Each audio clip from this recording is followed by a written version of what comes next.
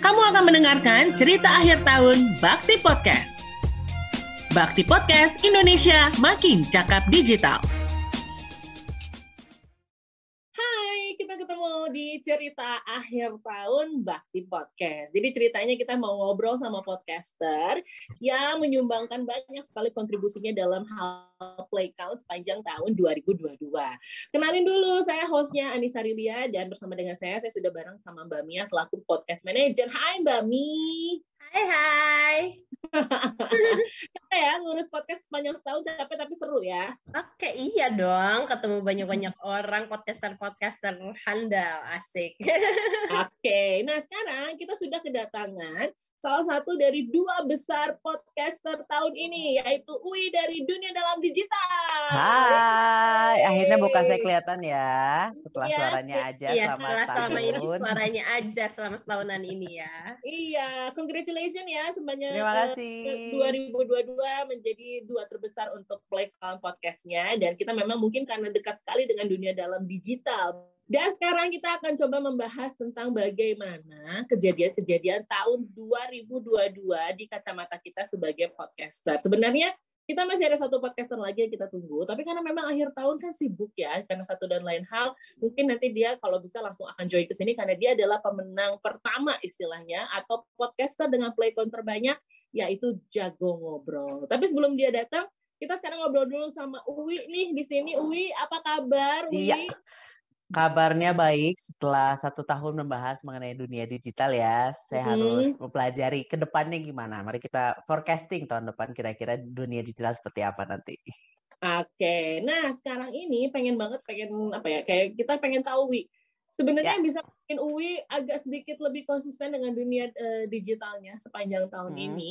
Boleh nggak sih cerita uh, suka dukanya lah gitu untuk hmm. ngumpulin uh, beritanya atau mungkin juga uh, apa nyediain waktu buat take podcastnya karena Uwi juga kebetulan punya kesibukan lain sebagai yeah. penulis terus juga uh, banyak hal yang dilakukan sama Uwi cerita dong Uwi Oke, uh, sebenarnya mengerjakan dunia dalam digital itu uh, menyenangkannya satu karena belajar hal baru ya. Maksudnya selama ini ketika ngurusin dunia digital itu atas nama pekerjaan lain, gitu, menulis ataupun uh, mengajar gitu. Jadi uh, membuat konten podcast ini punya sudut pandang berbeda karena saya harus bertutur berharap mereka mau ngerti dari uh, step by stepnya ini gimana nih cara bikin email gitu. Jadi um, aku senang banget karena aku belajar hal baru. Tapi yang uh, tantangan terbesarnya adalah kadang-kadang uh, menurut aku gampang, menurut orang lain menurut gampang gitu. Jadi uh, hmm. perlu membuat tata bahasa yang gimana caranya satu tidak menggurui, yang kedua hmm. tapi bisa mudah dipahami kan. Maksudnya kadang-kadang uh, tak tak tak tak udah kebiasaan nih handphone kita pencet-pencet-pencet udah oh kayaknya ini mah gini gitu ya. Tapi kan sebenarnya ketika kita jelasin ke orang, hah gimana? Tadi masuk ke mana gitu. Jadi itu sebenarnya tantangan terbesarnya membuat skripnya. Benar, benar, benar, benar. Dan juga yang berikutnya adalah penting buat aku belum tentu penting buat uh, para pendengar Bakti Podcast. Dalam arti kan kita hmm. berada di wilayah yang berbeda. Lalu yang berikutnya hmm. juga um, hmm. apakah benar semua orang menggunakan itu? Saya harus survei lagi gitu. Jadi yeah, memang nggak semudah membuat podcast yang bikin cerita ataupun podcast hmm. yang saya suka bikin tentang zodiak tidak semudah itulah. Uh, benar-benar dulu. Ini green screen saya lepas. Aku harus benerin dulu sebentar boleh satu menit, satu menit. Oke, okay, sambil nunggu nih, Wi, dia ternyata harus membereskan dulu uh, latar belakang dan lain-lain ya. Bami, sebenarnya kalau misalnya kita lihat ya podcaster kita itu walaupun mereka adalah dua terbanyak, tapi yang sisanya juga banyak banget yang dengerin ya. Benar, iya. Ini karena kita ambilnya dua doang ya. Sebenarnya hmm. yang uh, dengan yang ketiga keempat juga uh, nggak terlalu jauh sebenarnya sih. Hmm. Gitu. Tapi ini kan berarti udah banyak banget orang yang uh, apa namanya istilahnya udah mau melek podcast yes. gitu ya gitu dan jadi kayak sebagai podcast manager sendiri apa sih yang diharapin gitu dengan para podcaster ini uh, apakah mereka bisa nanti ujung-ujungnya mengisi banyak banget dunia perpodcastan atau gimana? Ya pastinya dong, jadinya kita banyak materi juga untuk di-share kan ya gitu. Terus hmm. uh, kebetulan nih uh, kelihatan nih dari Bakti, ma juara satu dan duanya itu uh, materi penuh materi berbobot, bukan sekedar hmm. cerita dongeng ya gitu. Maksudnya yes, di Bakti betul. podcast kita itu macam-macam kan dari yang penuh hmm. uh, apa materi berbobot, materi daging kalau pinjam istilahnya uh, jago ngobrol gitu ya. Uh, atau ada juga yang dongeng, cerita, tapi penuh informasi juga tentu di dalamnya gitu. Uh, dari terbukti dari ini bahwa ternyata pendengarnya Bakti itu juga semuanya pengen nambah informasi loh gitu. Karena materi terbukti juara satu dan duanya gitu podcaster of the year-nya uh, materinya materi daging semua gitu. Ya banget. Gitu kan, ya kan. Tapi gitu. memang setuju sih apa kata Uwi kemarin, eh kemarin tadi, kemarin kayak udah ngobrol aja ya. Uwi itu sempat bilang kan tadi bahwa hal yang paling sulit adalah menyesuaikan daerah tersebut dengan apa yang menjadi dunia digitalnya jangan terlalu ketinggian juga gitu ya Wi ya. Iya betul sekali. Soalnya kan okay. uh, uh, yang pendengar bakti ini adalah berada di daerah 3T gitu yang which is mm -hmm. saya juga tidak tahu di sana sebenarnya lagi trennya apa. Walaupun kita bisa Google, kita bisa cari mm -hmm. tahu. Mm -hmm. Tapi kan balik lagi ya, kata-kata kita terbiasa sehari-hari ngomong oh, download aja, download aja belum tentu mereka terbiasa dengan iya, kata-kata itu. Betul. Gitu. Benar, benar, benar. Oke, okay, oke. Okay. Sekarang kita sudah kedatangan uh, Kak Kis nih. Kak Kis, halo. Uh, kita terus aja ngobrol dulu yeah. ya sampai nanti kita bisa ketemu sama Kak Kis. Ya. Di dunia dalam digital, episode yang paling banyak research-nya apa nih? Episode yang paling banyak research-nya, jujurnya adalah uh, mungkin dua bulan terakhir ya. Satu, karena jujur aja sudah mulai bingung mau membahas apa. Uh, terus yang kedua adalah yang tadi aku bilang, saya nggak tahu sebenarnya di daerah 3T itu apakah mereka membutuhkan teknologi secanggih apa atau atau yang sesimpel apa. Itu makanya uh, dua bulan terakhir kalau Mbak Mia juga tahu sendiri saya agak telat ngumpulinnya. biasanya saya cepet banget gitu awal bulan udah beres, awal bulan beres. Iya nomor ini. satu loh biasanya. nah ini agak tersendat karena agak bingung gitu. Sebenarnya uh, perlu membahas sejauh mana dan mereka tuh sebenarnya lagi into apa itu karena karena kita nggak bisa menganggap di daerah aku di Bandung sama di daerah mereka sama gitu kan. Di Bandung mungkin lagi ngetrennya TikTok, tapi kan kita nggak tahu di sana lagi ngetrennya apa. Betul sekali. Oke, kita cut dulu sebelum kita nanti kedatangan kakis. Jangan ke mana-mana. Hai, kamu akan mendengarkan cerita akhir tahun Bakti Podcast. Bakti Podcast Indonesia makin cakap digital. Oke, okay, Bakti Podcast, cerita akhir tahun bersama dengan Bakti Podcast. Setelah tadi kita udah ngobrol-ngobrol barengan sama Wi dari dunia dalam digital yang ada di posisi kedua nih untuk play count ini. Kita sekarang sudah kedatangan Kis dari Jago Ngobrol yang ada di posisi teratas play countnya podcast di Bakti Podcast. Selamat Kak Kis. Thank you, thank you. Gimana nih Kak, boleh dong cerita kayak semacam uh, cerita perjuangannya lah ya, ngumpulin ngumpulin waktunya, ngumpulin moodnya, yeah. boleh di-share nggak Kak? Oke, okay. Selamat pagi semuanya teman-teman. Di sini ada siapa aja saya belum kenalan bahkan. Baru kenalnya oh, iya, Mia aja ya. ya. belum kenalan. Ya. Oke, okay. aku sebagai Mia. hostnya ada Mbak hmm. Mia mungkin sudah selalu berhubungan. Ada ya. Wi uh, dari dunia dalam Halo. Halo Wi. Gitu. Salam kenal. Salam kenal. Selamat ya, ya nomor satu. Aduh, terima kasih banyak. Gak nyangka juga sih ini baru tahu. Kira, iya nih, kirain. gimana nih Kak Kis boleh bercerita? Kalau tadi Uwi udah cerita kan, gimana Kis sekarang yang cerita? Ya, oke. Okay. Uh, eh, sekali lagi terima kasih buat kesempatannya dan segenap Baktizen yang hari ini sedang menyaksikan. Aduh, gimana ya? Ini perasaannya campur aduk nih sekarang nih. Karena memang apa ya, di setiap perjalanan bikin podcast Jago Ngobrol ya, meskipun awalnya saya ya udahlah pakai materi-materi saya yang udah ada. Jadi di Instagram kan saya udah punya banyak microblogs ya. Jadi hmm. awalnya tuh saya tinggal ambil-ambil aja dari situ. Dari hmm. yang tadinya 10 slide saya coba bikin menjadi sebuah skrip dan coba saya sampaikan dengan bahasa yang lebih di tone down.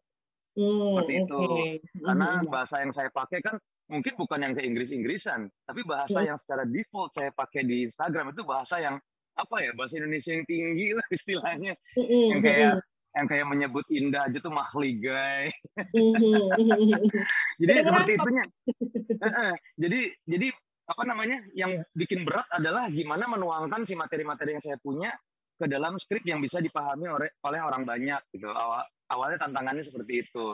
Mm, Terus kedua ada tantangan waktu kan. Jadi Iya, ini uh, podcaster ya waktu ya gitu ya. Hmm, tantangan waktunya lumayan berasa sih mungkin Mbak Mia di sini udah sering udah sering banget ngejar-ngejar ngejar-ngejar Dewi ya. Hmm, ngejar-ngejar. Tapi itu itu udah sebisa mungkin saya luangkan karena bikin podcast itu nggak bisa yang ini buat teman-teman yes. semua tahu, Wi juga masih tahu kan. Nggak mm -hmm. mungkin ya malam ini bikin ah langsung bikin skrip langsung take vokal, nggak seperti itu. Tapi bener-bener kalau saya sih, kalau saya sih skripnya itu biasa dipisah sama hari take. Mm-hmm. Jadi ada satu hari di mana saya bener-bener uh, fokusin diri saya buat ngetik skrip. Karena belakangan-belakangan ini saya udah nggak ngambil banyak nggak ngambil topik dari Instagram saya lagi.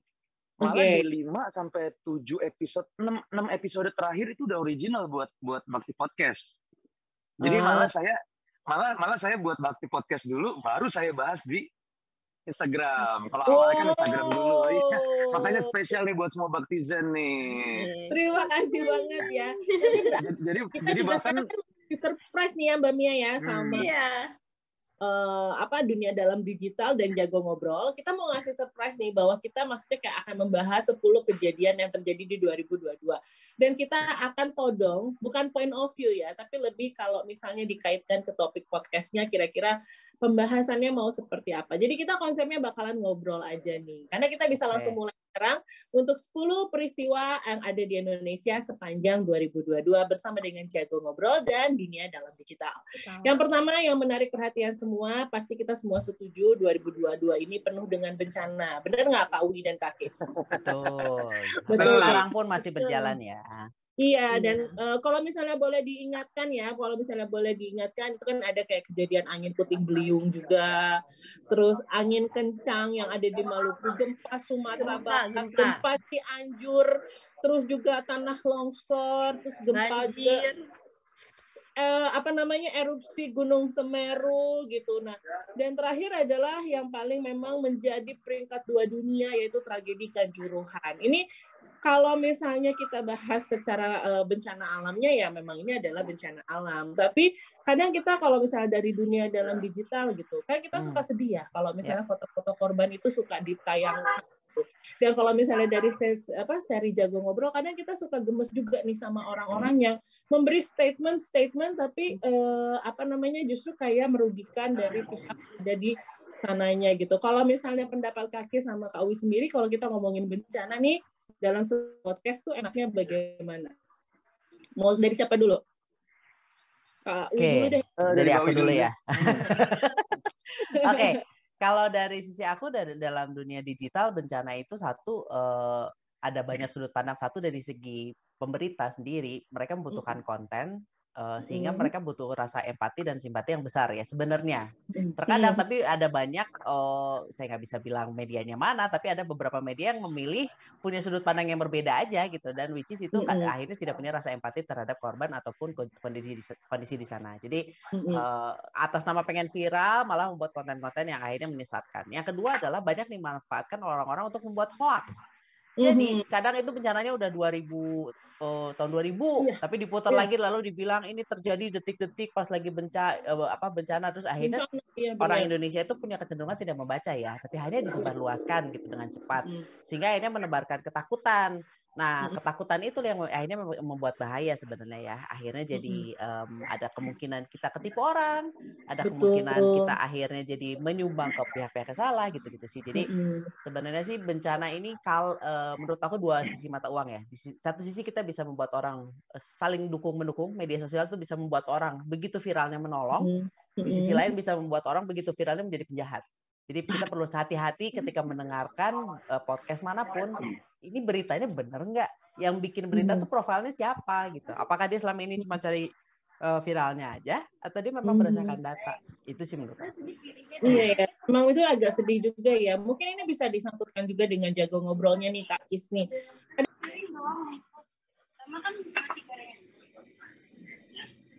Sorry Kak, saya hilang suaranya. Ini dong, itu masa kan tadi kamu marah. Cek cek suaranya hilang iya, nih. tadi hilang. Oh, pas. Nah, udah kedengeran sekarang.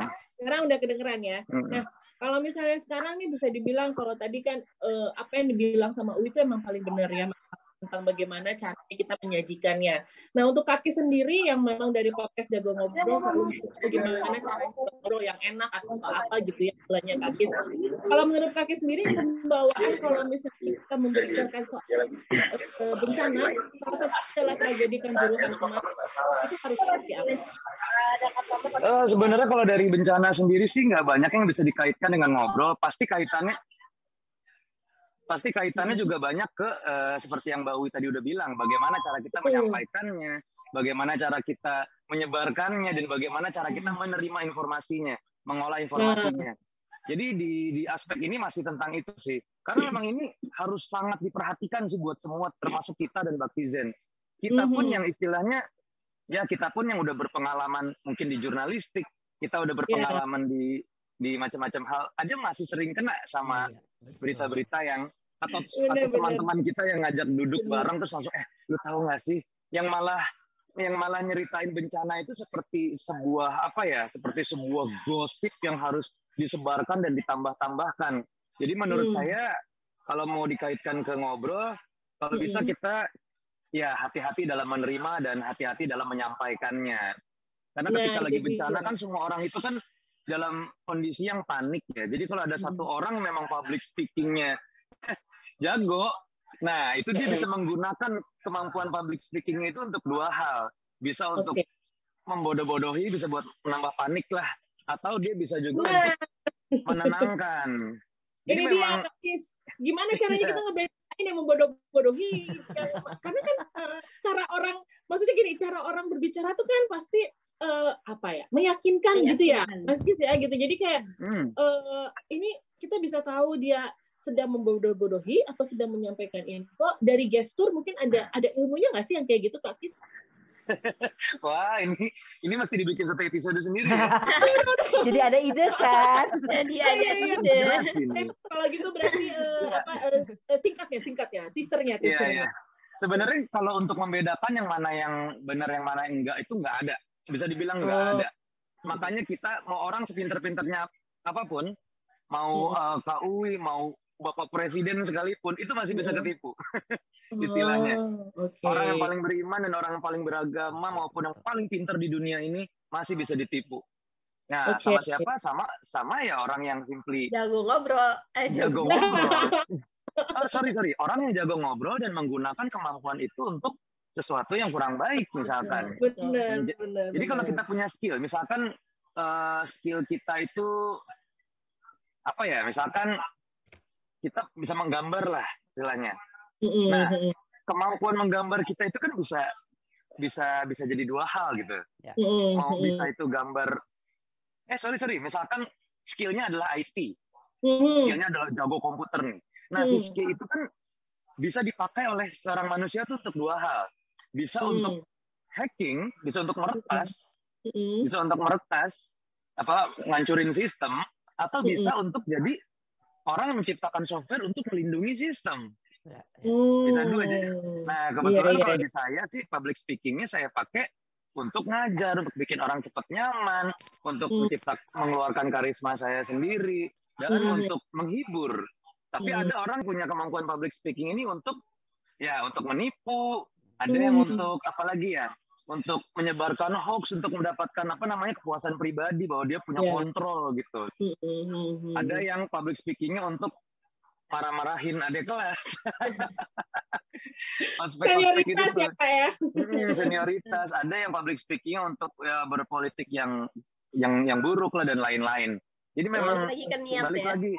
Nah, saya setuju banget sama Kak Uwi tadi bahwa memang segala sesuatu itu pasti ada dua sisi mata mata koinnya lah dua sisi koin mm. yang berbeda jadi mm. kalau bisa eh jadi kita nggak akan bisa tahu orang yang mana yang benar-benar bohong atau benar-benar jujur intinya balik okay. lagi ke sebagai segimana kritisnya kita gitu oke okay. nah, soalnya okay. kan kalau kita udah ngefans sama seseorang gitu kita bisa hilang tuh logikanya yeah, kan jadi kita yeah. percaya aja mau dia berbuat baik bener. mau berbuat buruk bener, itu kita bela-bela aja nah makanya balik lagi semoga uh, Bakti Zaini juga kritis dalam nilai sesuatu atau suatu kejadian lah uh, atau suatu ah, bencana. ilmunya daging banget ya ini pagi hari ini ya kita ya. Tapi uh, maksud Alhamdulillah. Oh, sorry, ulang. Ilmunya ini kita uh, apa namanya daging banget mungkin juga bisa bermanfaat buat Bakti Zen gitu. Nah, ini kan lagi didengerin sama Bakti Zen yang mau merayakan uh, pergantian tahun nih. Um, mungkin apa ya ada harapan gak sih kita kalau misalnya ngomongin bencana harapan singkat aja dalam penyampaian uh, bencananya atau dalam dunia digitalnya untuk yang membuat menjadi berita memang yang suka ngeliat berita kan kalau misalnya di luar tuh hanya untuk menampilkan bencana aja gitu tidak ada embel-embel lain gitu karena ya. Indonesia itu suka banget menambah hal-hal yang seperti ada prediksi atau dia pakai baju apa gitu istilahnya seperti itu. Dan itu sudah ada firasat sebelumnya. Iya, yang kayak gitu-gitu. Itu gimana sih sebenarnya harapannya untuk menyampaikan berita seputar bencana itu yang memang uh, baik seperti apa? Silakan mungkin uh, uh, Kak Uwi dulu deh.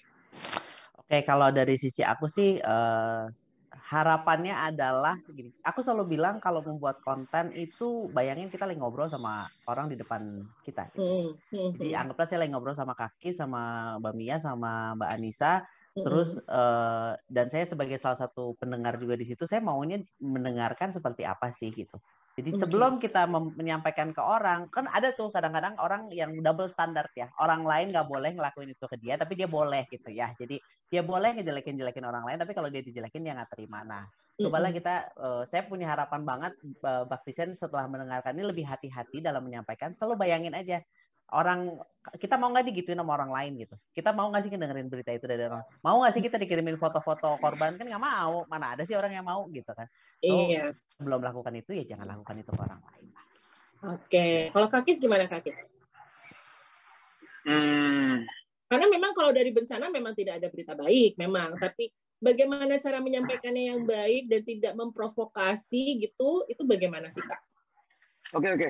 Kalau dari saya sendiri sih kenapa bisa terjadi seperti ini sekarang? Kenapa bisa ada budaya setiap kali bencana itu ya memang benar kata Kak Anissa tadi, kalau hmm. bencana itu bukan sesuatu yang baik, tapi ditambah-tambahin gitu. Ya, yeah, misalkan betul.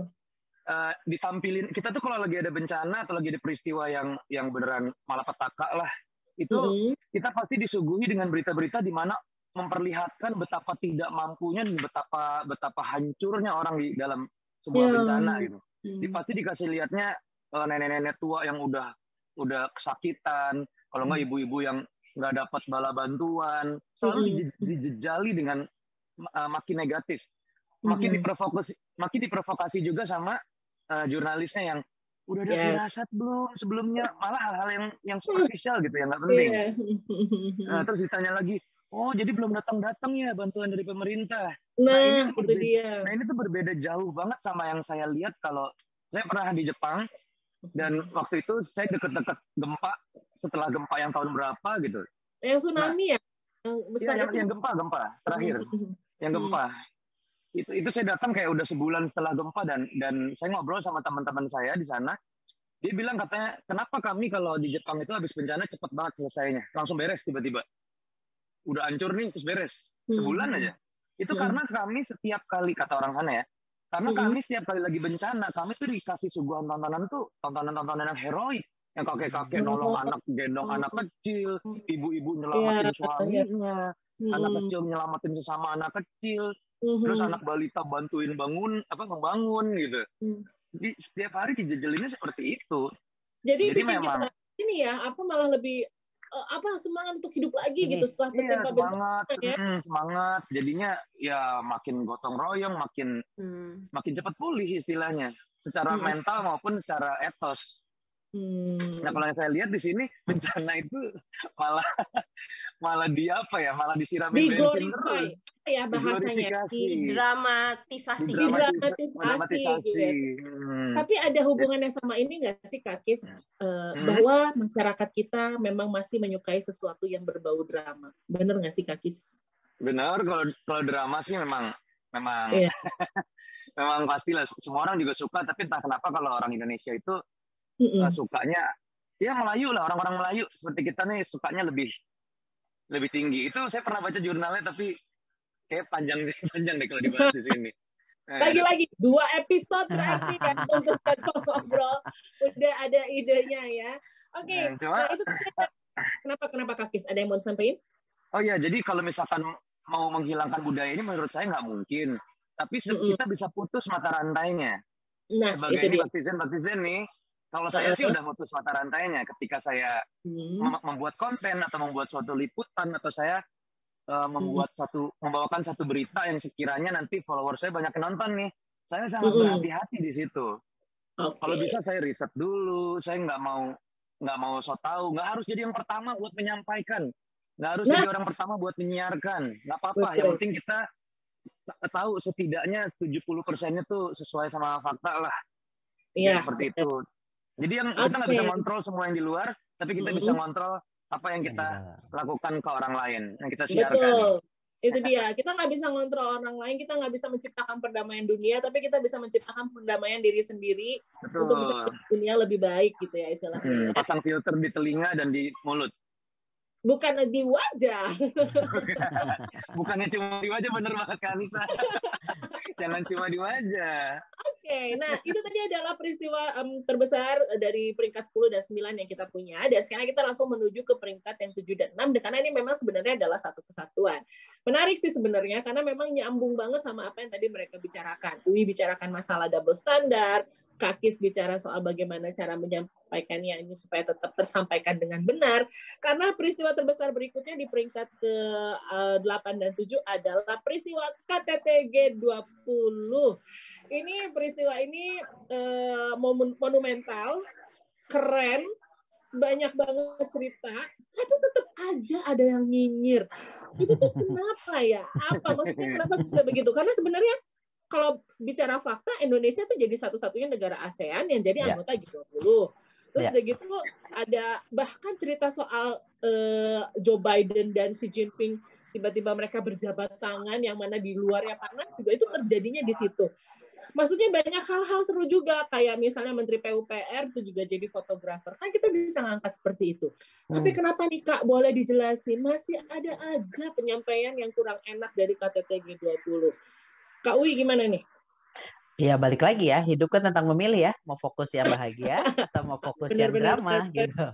Nah, bener, bener. sekali lagi sayangnya atas nama konten dan pengen viral dan pengen jadi yang pertama, Uh, hmm. banyak banget orang yang memutuskan membuat konten itu dari angle yang uh, apa ya dianggapnya itu dimakan oleh masyarakat Indonesia gitu yang which is akhirnya jadi ngomongin something bad atau yang dramatisir gitu ya padahal kalau saya pribadi ya 99% itu membanggakan satu persen doang lah yang semua orang kan nggak ada nggak akan ada yang sempurna lah kita gitu tapi Betul. 99% semuanya hal baik kok dari hmm. apa pun itu yang terjadi di KTT nah uh, jadi sebagai seorang content creator uh, life is hmm. life is about making a choice aja di tangan anda anda semua Faktizen ini kalau mau bikin konten uh, kita bisa banget memilih mau ngomongin yang positifnya atau mau ngomongin yang negatifnya. Tapi ya itulah hmm. orang-orang punya kecenderungan atas nama gampang dan mm-hmm. karena takut nggak ada yang ngedengerin lebih memilih kontroversial. Itu sih nah, yang menurut aku.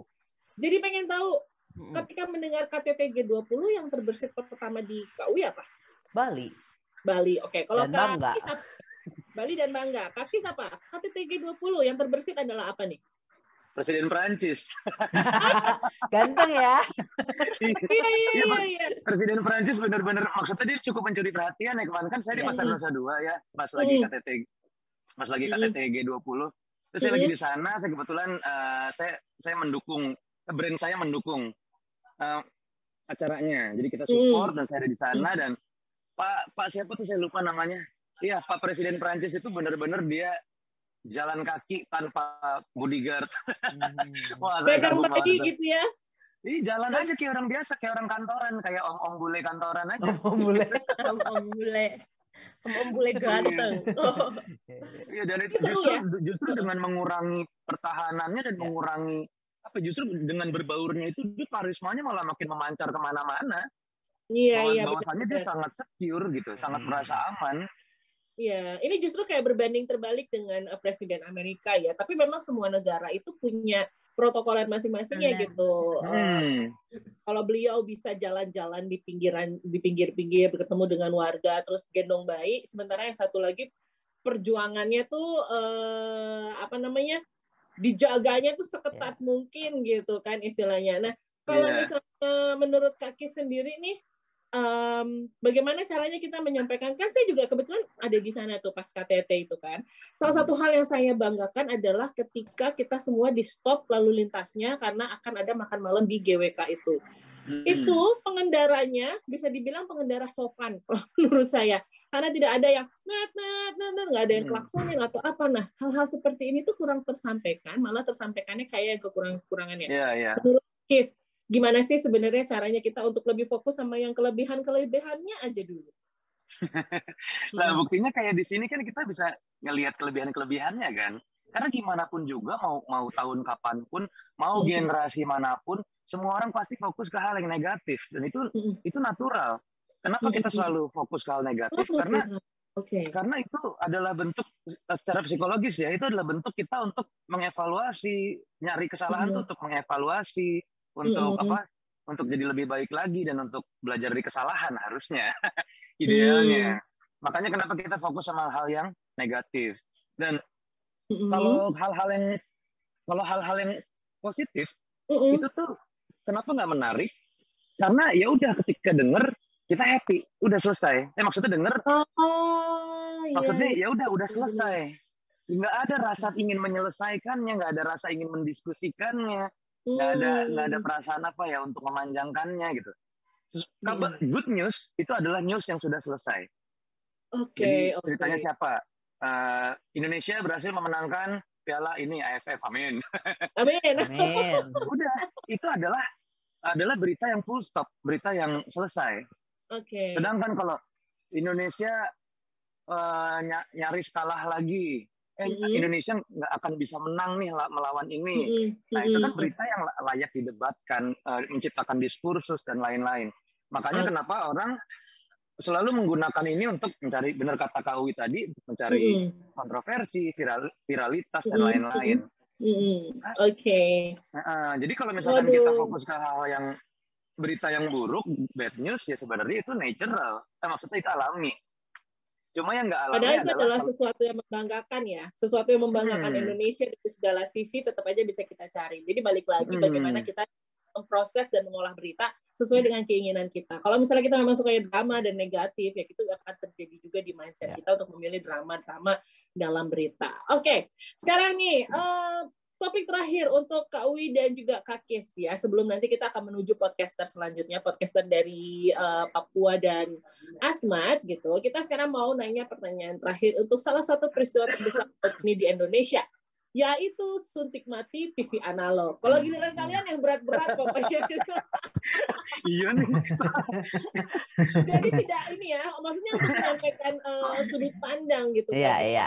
Kalau dari tadi kalau, beritanya nggak ada yang berita-berita kekinian. Nah, ini terbukti kan memilih berita, berita yang iya, duka. Iya, iya. memilih berita karena kan peringkat satu peringkat dua iya, loh okay, okay. Oh, iya, iya, iya, kontroversi iya. uh, uh, harusnya benar-benar yang kayak memang uh, bisa kayak menginspirasi oh, gitu. gitu dan yeah. suntik mati TV anak yang ternyata pro kontra mulai yeah. dari uh, apa namanya penyaluran STB-nya lah apa gitu terus udah gitu tidak semua orang bisa membeli TV apa dan segala macam kembali dikaitkan dengan kondisi ekonomi masyarakat hmm. Indonesia. Hmm. Nah, kalau pendapat dari Kak Wi dan Kak Kis gimana? Kak Wi silahkan. Oke, okay, uh, eh, ini sih jadi panjang kali lebar ya. Mungkin sarjana ilmu politik harus keluar dulu. Tapi intinya kalau dari segi dunia digital, menurut ya, saya, dunia digital. Uh, ya pada pada akhirnya memang mau nggak mau perubahan itu tidak nyaman. Di mana-mana ya. kalau kita mau grow, pasti ada ada konflik nggak mungkin nggak hmm. uh, usah jauh-jauh deh kita mau bakar lemak aja kita olahraga dulu kan kita harus dari pergerakan supaya badan kita memproses kayak ada berantemnya di badan kita. Sama hmm. ya kalau Indonesia akhirnya mau benar-benar melek digital dengan ta uh, target uh, kita semua akhirnya bisa pakai internet kita semua akhirnya bisa melek digital ya memang ini perlu terjadi. Soon or later akan diprotes. Sama seperti kenaikan BBM soon or later akan diprotes. Tapi balik lagi ini seperti pembahasan satu dan dua ya Mm-hmm. Uh, Baktisan bisa memilih untuk melihat ini sebagai wah ini sesuatu yang berat, gila gue udah mm-hmm. punya duit beli uh, apa uh, wifi aja gue harus ke kafe gitu ya, mm-hmm. gue harus beli lagi atau mau ngelihatnya oh ini kesempatan yang baik, gue mau belajar dan oke okay, berarti saatnya gue mau menabung nih, gue mau beli TV digital atau sekarang gue mau beli uh, itu apa deh empat ratus ribu gue mau nabung karena gue nggak mau ketinggalan berita balik lagi life is perfect. Mm-hmm. Yeah. Jadi uh, aku sih lebih ngelihatnya justru ini hal yang baik Kenapa? Karena mau nggak mau kita dipaksa untuk berkembang. Iya. Kalau yang terjadi sekarang, sooner or later kita akan makin ketinggalan dari negara-negara lain. Kita malah hmm. semakin dimanjakan dengan konon katanya kita negara berkembang. No, menurut aku kita udah lebih dari itu. Masa kita mau dilabelin terus sebagai negara ketiga sih? Enggak, gue sih nggak mau ya. Menurut gue kita hebat banget. Indonesia tuh udah maju banget digitalnya. Kalau enggak, Atta Halilintar nggak akan jadi nomor satu. Hmm. itu kok kita bisa kok gitu. Banyak banget podcaster kita keren-keren, banyak banget uh, pembuat konten kita tuh benar-benar nomor satu di Asia. So kenapa nggak kita ngajak semua masyarakat juga melek digital? Gitu. Oke, okay. mantap. Ini kayak ada suara hati. Orasi, orasi ya. Kaki sampai tepuk tangan loh. Oke, kaki. Keren, uh, keren parah. Udah udah sampai nggak tahu mau ngomong apa lagi nih. Udah disikat. Kayak udah, udah di, terwakilkan semua udah ya. Dijajal semua, Kawi. Tapi kalau misalnya yeah. dari kaki sendiri tentang masalah TV analog, memang mungkin tidak ada hubungannya dengan uh, apa jago yeah, yeah. public hmm. speaking. Tapi mungkin lebih ke ini gimana ya caranya untuk meyakinkan? Karena kan juga kampanyenya udah hampir setahun gitu Kak Kis. Dan udah gitu kan hmm. pemutusannya juga akhir tahun ya gitu. Ada yang salahkah dengan cara penyampaiannya atau memang cara penyampaiannya udah benar tapi nggak masuk? Gimana sih Kak Kis? Oke, uh, satu saya kan nggak bekerja di instansi pemerintahan ya, jadi saya nggak bisa hmm. ngasih nggak nggak bisa ngasih ide gitu untuk mereka iya. gimana cara penyampaian yang baik parkomnya ke masyarakat. Tapi kalau saya mau, mau ada pendapat tentang tentang TV analog sih saya sangat pro dengan tidak adanya TV analog. Oke. Okay. Karena karena orang-orang yang teriak-teriak itu tadi yang mm-hmm. ah nggak ada TV analog. Emang beneran masih pakai TV analog untuk dapetin sumber edukasi? Menurut saya sih udah enggak. Menurut yeah, saya sih kayak udah disetel aja setel jadi jadi apa namanya jadi background music aja. Tapi yes. sebenarnya mereka-mereka itu udah bisa YouTubean udah bisa segala macam jadi menurut saya sih itu teriakan-teriakan yang sama kayak BBM bener. Ya BBM naik nih nggak bisa nggak bisa beli ini nggak bisa beli itu ujung-ujung tetap bisa beli beras kok tetap mm-hmm. kita di mana pun juga seburuk-buruknya selalu bisa menyesuaikan dulu yes. zaman zaman pertama kali ada auto transferring machine alias ATM mm-hmm. itu orang juga ngomel marah-marah kok susah repot udah mm-hmm. sekarang udah keenakan pakai ATM ada m banking mm-hmm. atau sejenisnya lah yang di digawai Mm-mm. Itu teriak-teriak lagi, ah ribet ya enakan lewat ATM, lebih lebih apa sih? Memang perubahan itu selalu oh, mengundang iya. konflik. mm-hmm. tapi konflik mengundang ya mengundang kesempatan untuk untuk berubah. Jadi menurut saya sih TV analog memang sudah waktunya karena udah bukan apa ya, udah bukan sumber edukasi lagi. Orang sekarang mm-hmm. udah nyarinya lewat uh, media sosial. Belajarnya orang sekarang udah lewat TikTok kalau nggak YouTube. Jadi yang yang bakal cuma nonton TV analog pun juga bakal kehitung jari setiap harinya. Misalkan dibiarin pun juga mati sendiri. Tuh. Seperti itu. Jadi kalau tapi kalau misalkan saya boleh saran, kalau misalkan pemerintah mau mau apa namanya? Kominfo mau, hey, Kominfo, misalkan Kominfo mau gimana caranya menyampaikan ke masyarakat yang baik, ya, ya sudah life life must go on, nggak perlu di fokuskan terlalu banyak sih ke sini. Karena memang sudah waktunya TV analog. Baik, kita masih ada di cerita akhir tahun Bangkit Podcast. Tadi udah diceritain semuanya sama Uwi juga, sama juga semuanya udah diceritain tentang pendapat mereka untuk yang lima besar dulu untuk menghadapi kejadian sepanjang tahun 2022. Sekarang sebagai penutup untuk mereka berdua si peringkat satu peringkat dua ini ya gitu ya si dua besar ini yang membantu kita benar-benar mengajarkan banyak hal. Adakah pesan-pesan? Ini adalah pertanyaan klise tentunya sebagai penutup. Pesan sebagai seorang podcaster, bagaimana caranya untuk bisa lebih konsisten lagi? Karena yang paling hmm. sulit dalam membuat podcast adalah konsisten. Mangga, semua siapa dulu? Uh, Kak Wi dulu atau Kak Kis? Silakan. Oke, biar biar sesuai yang tadi selalu saya duluan, jadi kita tutup dengan saya lagi-lagi ya. Oke, okay, kalau pesan aku adalah untuk Baktisian yang pengen jadi podcaster atau pengen membuat konten, uh, just enjoy, jadilah hmm. diri kamu sendiri, nggak usah jadi orang lain. Uh, laku, hmm. segala sesuatu yang dilakukan pati, pakai hati, pasti hasilnya juga bisa dinikmatin dengan hati itu aja sih. Aduh, pesannya hangat sekali ya Kawi. Hangat ya, walaupun topiknya menggemaskan, pesannya hangat ya. iya iya iya. Kau kau ini yang ini kan yang apa bahas tentang sosial media ya? Iya, dunia dalam ya, digital. Dunia, dunia dalam digital nah, ya. Kau ini podcaster pertama yang saya dengerin di terharu. Waktu saya pertama kali di diamanahkan untuk ngisi di Bakti, saya kan nyari referensi kan. Sebelumnya saya nggak ada nggak ada pengalaman soalnya. Dan podcaster pertama channel pertama yang saya tonton sampai habis itu channelnya KW. Nah, ada musiknya, ada saya, saya pelajarin satu persatu gimana cara input musiknya. kasih selah apa? Kasih kasih apa interlude interlude itu ya, semua interlude. dari KW. Makasih banyak jadi sebelumnya Sama-sama. Ya. Terima kasih loh sudah didengarkan. Udah jadi yang pertama. Udah jadi teladan lah. Oke, semoga banyak yang jadi podcaster lagi berkat Kawi. Amin. Amin. satu di hati kakis ya berarti Uya.